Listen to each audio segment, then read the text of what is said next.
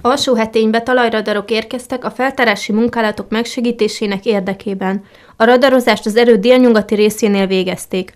Stibrányi Máté a munkavezető ismertette, hogy pontosan mi is a cél. Ahol néhány épületnek a nyoma látszott már légi fotók alapján, meg hát a felszínen is, és ezeket, ezeknek az alaprajzát próbáljuk pontosítani most a, továbbiakban. Ez az erőd, ez rendszeresen nagy, tehát nem, nem sokkal komolyabb ö, felmérést igényelne az, hogy, hogy a teljes, teljes egészében felmérjük, de pár olyan részletet igyekszünk most, most megvizsgálni, amelyek a kutatók számára különlegesen érdekesek lehetnek. Szabó Máté, a Régészeti Intézet tudományos munkatársa elmondta, egy különleges együttműködés keretében valósul meg ez a projekt. Az a projekt, aminek a keretén belül itt dolgozunk, az egy francia-német-magyar együttműködés. Franciaországban a Lilli Egyetemnek a keretén belül valósulhat meg, és Pannoniának, illetve az alsó Dunavidéknek, közép-Dunavidéknek a késő antik építészeti stílusát az úgynevezett perisztiliumos belső udvaros villagazdaságoknak, villaépületeknek a megjelenését, a társadalmi aspektusait, illetve a tájrégészeti vonatkozásait vizsgálja ez a projekt.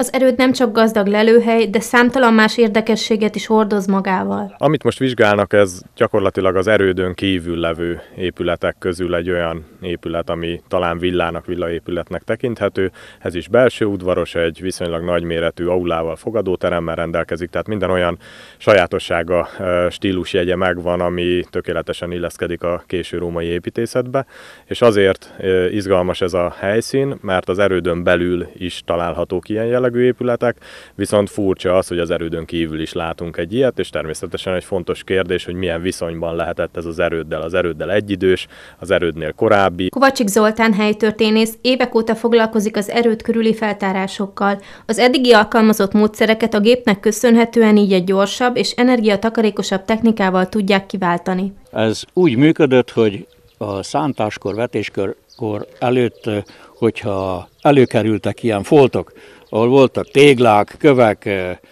kerámia darabok, ezeket papírra vetettem, úgyhogy mondták, hogy hogyan kell. Ott egy nagy fa, mérjem le, meg a villanyducot, és akkor jelöljem be, hogy hány méterre vannak ezek a foltok.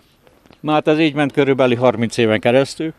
Feltárási munkák állandó jelleggel folynak, hiszen a régészeti lelőhelyen akadnak még kiaknázatlan területek.